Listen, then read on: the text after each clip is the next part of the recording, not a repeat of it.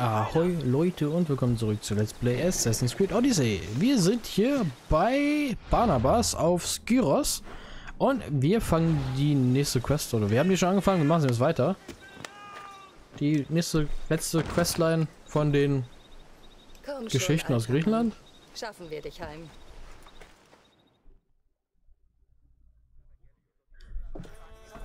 Eine Normalquest haben wir auch noch. Das spielt keine Rolle. Die Götter, sie haben mir eine Vision gesandt. Hm, sag mal, was du gesehen hast. Du sprachst von einer Leder. Die Götter haben sie mir gezeigt. Leda war meine Frau. Dein Weib? Ich dachte, ich hätte sie schon lange verloren. Doch ich sah sie in meiner Vision. Sie lebt. Wir müssen sie nur finden. Okay, wo? Ich helfe dir, sie zu finden, aber eine Vision ist keine besonders gute Spur. Es waren drei Visionen. In der Dunkelheit einer vergessenen Höhle fütterte Leda einen Kyklopen. Aber dann sah ich sie mit einer Hexe Wein trinken. Danach hörte ich sie singen wie eine Sirene. Ähm. Wo war der Kyklop? Wegen dieses Kyklopen. Richtig. Tosa und Poseidon nahmen mich bei der Hand und führten mich tief ins Herz der Höhlen von Anafe. Da war ich doch schon mal. Dort sah ich Leda einen jungen Kyklopen füttern.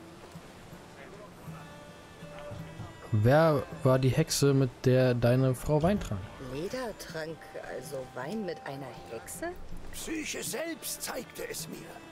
Die Hexe und Leda waren Freundinnen und tranken bis spät in die Nacht hinein zusammen Wein. Im Hintergrund sah ich die Ruinen auf Paros. Paros, da waren wir auch schon. Wer waren die Sirenen? Sagtest du Sirenen?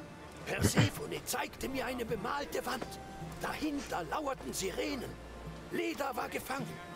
Dann warnte mich Demeter mit ihrer mütterlichen Stimme. Nähere dich nicht, wenn deine Ohren nicht deinen Verstand besudeln sollen. Okay. Ich, äh, ich schaff mich auch so. Ein guter Rat, sowohl von dir als auch von Demeter, aber was kann mir helfen? Du glaubst mir? Hier, nimm das. Bienenwachs.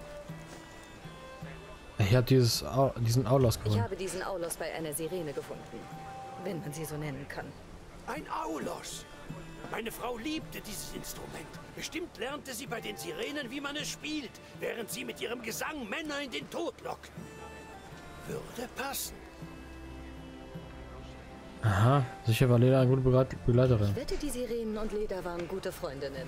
Sie war so bezaubernd. Bei mir zeigte ihr Gesang stets Wirkung. Okay, ich suche hier. Wenn Leder lebt, finde ich sie. Den Göttern riecht das gut. Ähm, Anaffe Kyklopen füttern. Anaffe ist da. Da hinten war doch irgend so ein Bursche, der irgendwie nicht mit mir agieren wollte. Und Paros ist hier oben. Eine Hexe. Von fucking Hexe denn? Bildhauer.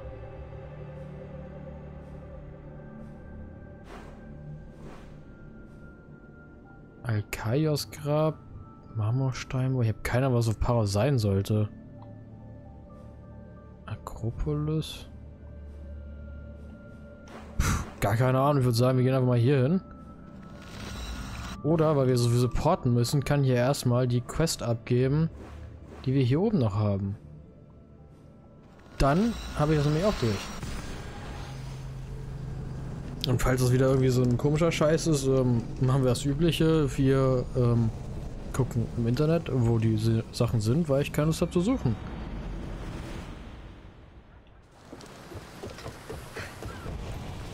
Mehrere Quests angenommen.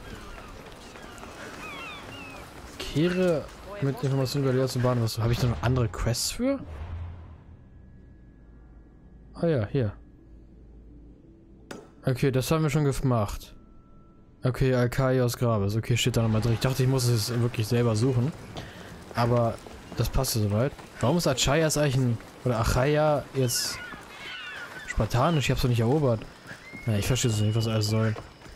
Rätsel mit der Narrenkappe. Ich hoffe, das war's und er will nicht noch mehr Sachen haben.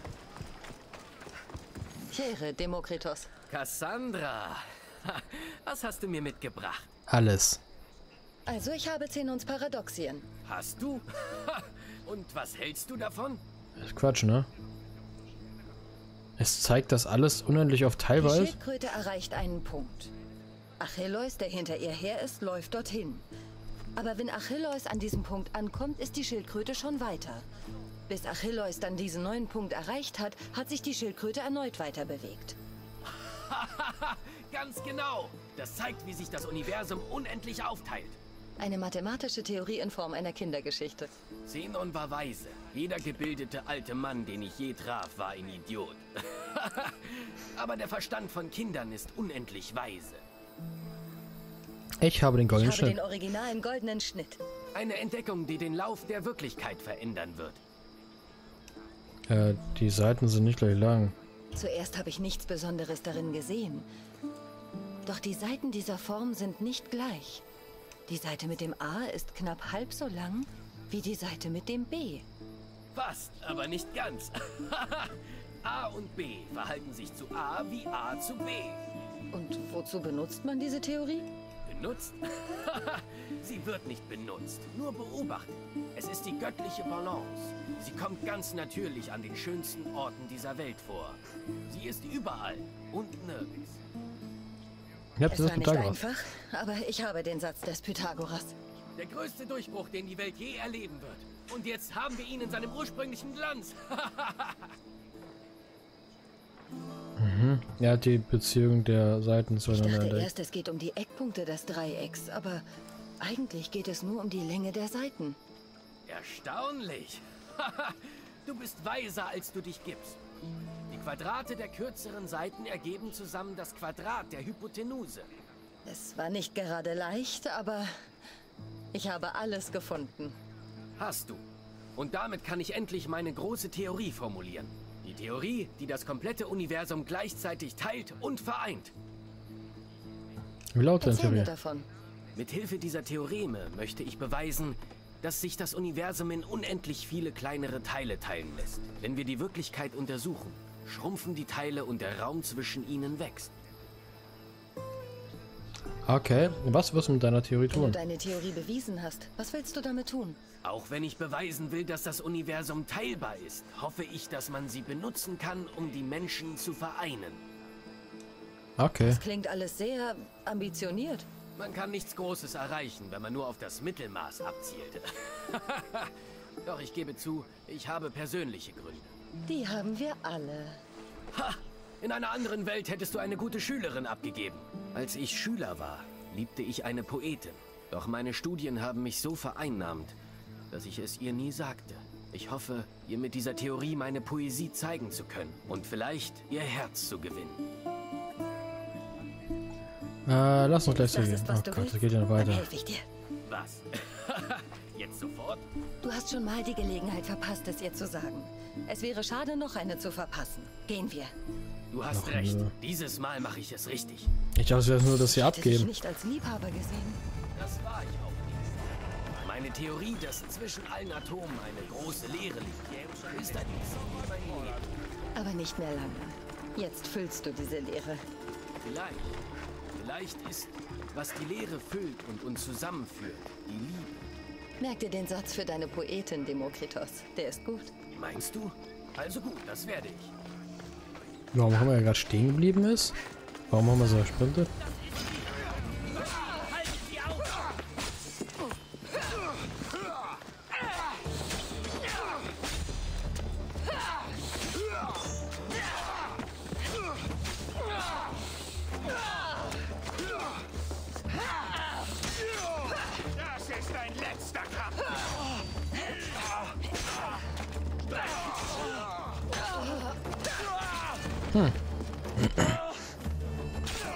Ich glaube, sie ist tot. Hallo. Demokritos. Es tut mir leid. Sie ist tot. Dass es so enden muss. Nach all der Zeit. Äh, lies hier deine Poesie Du vor. hast dein Theorem.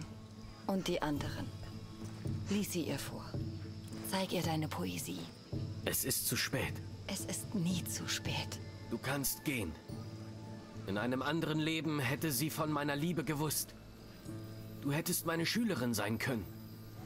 Stell dir vor, wie glücklich wir wären. Ein weiser Mann sagte mir, der reichste Mann in jedem Land ist der, der sich nach dem wenigsten sehnt. Sehne dich nicht nach der Vergangenheit. Ich gehe früh genug. Doch im Moment sehne ich mich nach ein wenig Zeit allein. Nimm dies und lass mich trauern, Cassandra. Okay. Gut, dann haben wir es auch geschafft.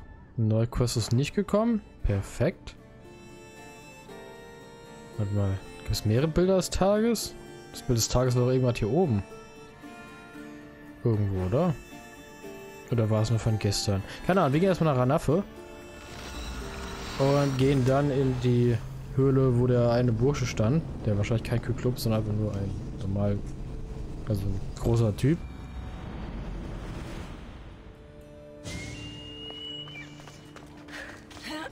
So, dann will ich nochmal meine Waffe ähm, wechseln. Und da möchte ich wieder auf das Ding gehen, oder? Was macht das denn? Adrenalin kosten halt schon cool. Aber wir nehmen erstmal die, weil ich sie testen möchte, weil sie groß ist.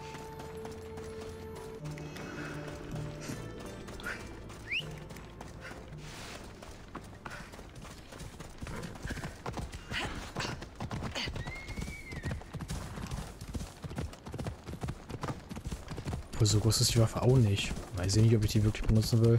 Also ich glaube, ich werde mir die, ähm, den Atlanta, also Sperr des Poseidon, ähm, die, was war das nochmal? Minotaurus-Axt und äh, vielleicht nochmal eins der beiden Schwerter auf eine hohe Stufe ähm, leveln, aber ich kann ja im Endeffekt noch viel weiter leveln. Das ist der richtige Ort. Und ich weiß nicht, ob es sich lohnt, jetzt dafür richtig viel Geld auszugeben und ich glaube auch äh, Materialien, wenn ich das sowieso bei Level aufsteigen dann wieder machen muss für genau den gleichen Wert. Wenn nicht sogar mehr. Ja, mal gucken. Aktuell komme ich ja noch gut durch mit dem Schaden.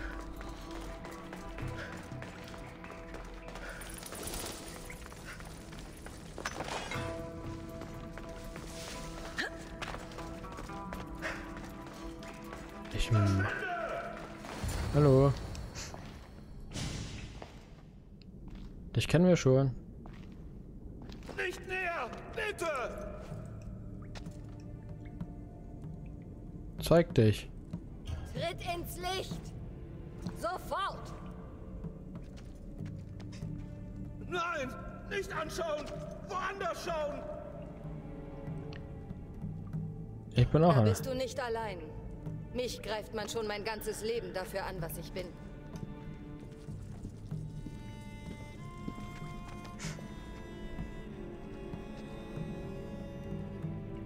Ist denn los mit dir? Nur weil du eine Augenklappe hast?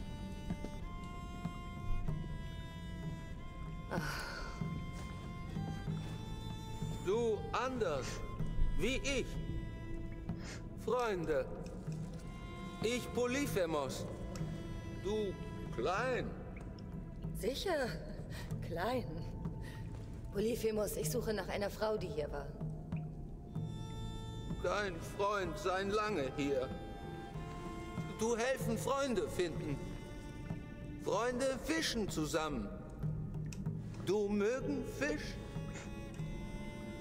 Ja, wir können es dir, gegen einen Freund zu finden, mit dem du fischen kannst. Und du hilfst mir, die Frau zu finden, die ich suche. Schöner Strand. Klein wird sehen. Klein wird mögen. Jetzt wir gehen. Okay.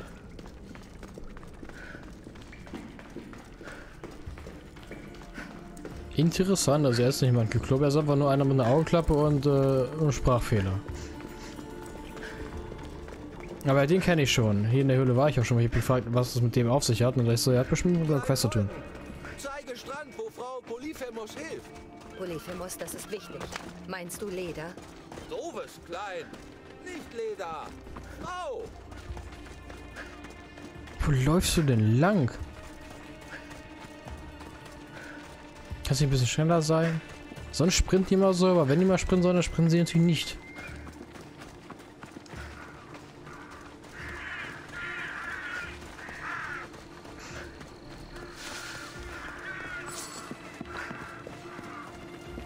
Gott, wie weit ist das denn weg? Ich dachte, sie direkt um die Ecke.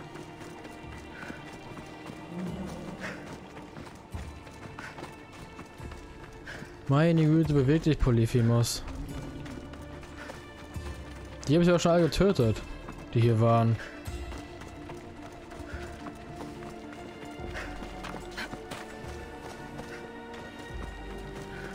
Wahrscheinlich wollten die ihn jagen oder so.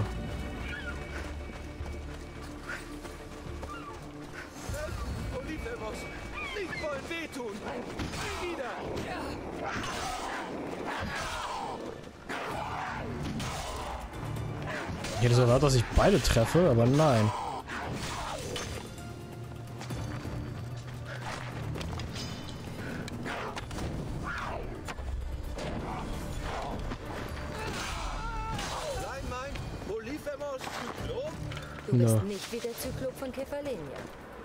Ein echtes und ein falsches Auge. Er hat klein geärgert. Klein geärgert. Was du gemacht? Sein falsches Auge in einen Ziegenhintern gesteckt. Klein ist lustig.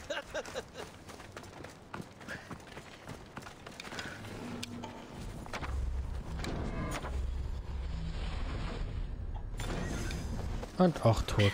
Wahrscheinlich ist es wahrscheinlich auch angegriffen, oder? Ja, wenn wir hier so nah dran vorbeilaufen. Der muss natürlich auch durch alles durchlaufen. Die habe ich schon getötet gehabt, alle.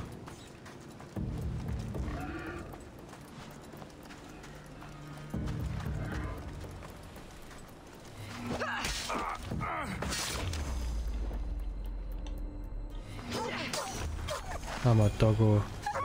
Ich doch gar nicht.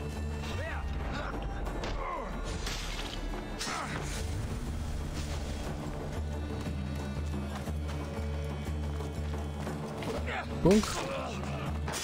Scheiße, die sehe ich alle gar nicht mehr.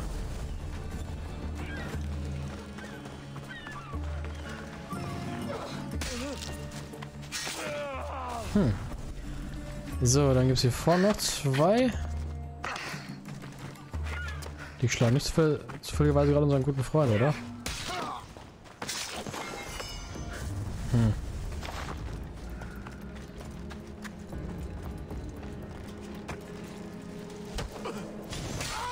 Na gut. Ich hätte erwartet, dass der es überlebt und ich noch kaputt prügeln muss, aber so nehme ich es auch hin.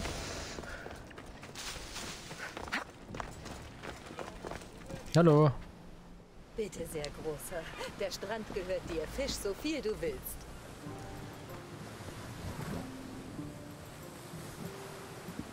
Wo Frau?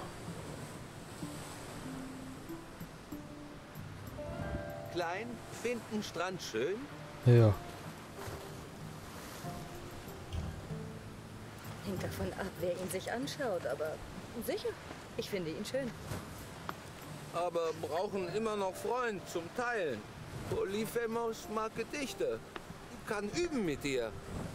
Sag Polyphemos, was macht klein klein? Äh, hab schöne Augen. Ja, ich habe Augen. Die sind schön, glaube ich. Polyphemos kennt Frau mit schönen grünen Augen. Sie nett. Was sonst? Hm, ich trinke und singe. Macht mich glücklicher als zu feiern. Wein und Gesang tun dem Geiste wohl. Mit Freund. Polyphemos singt so gern. Noch mehr? Hm, ich vermisse meine Familie. Ich wünschte, ich könnte bei meiner Familie sein. Zuletzt war ich als kleines Mädchen glücklich. Diese Tage fehlen mir. Ich weiß nicht, warum ich dir das erzähle. Du bist ein guter Zuhörer, Großer.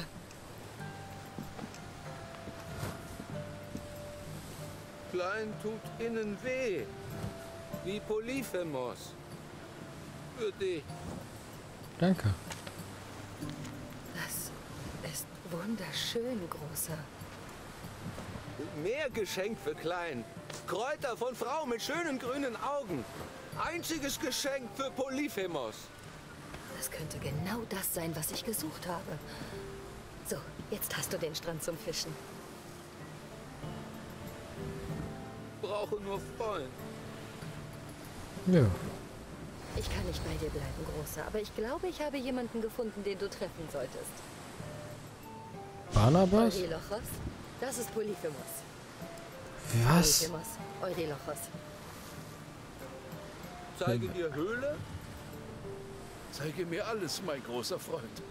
Das ist der tollste, spannendste Strand, den meine müden Augen je erblicken durften. Ich will alles sehen. Was? Wer zur Hölle ist das? Du klein, aber großes Herz. Nimm das. Besonderes Geschenk. Hä? Er verstehe ich nicht.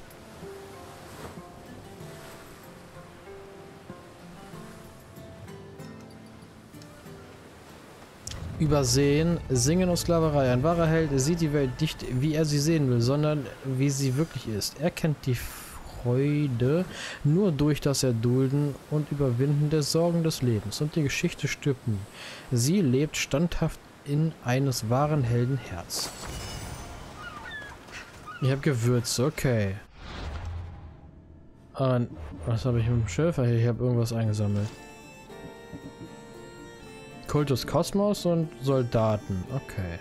Aber immer noch keine Legendary-Dinger. Schade. Ähm, bei denen ja können wir nichts machen, weil uns der Quatsch hier fehlt. Wir haben jetzt noch eine Quest offen, nämlich Wein für das Schwein.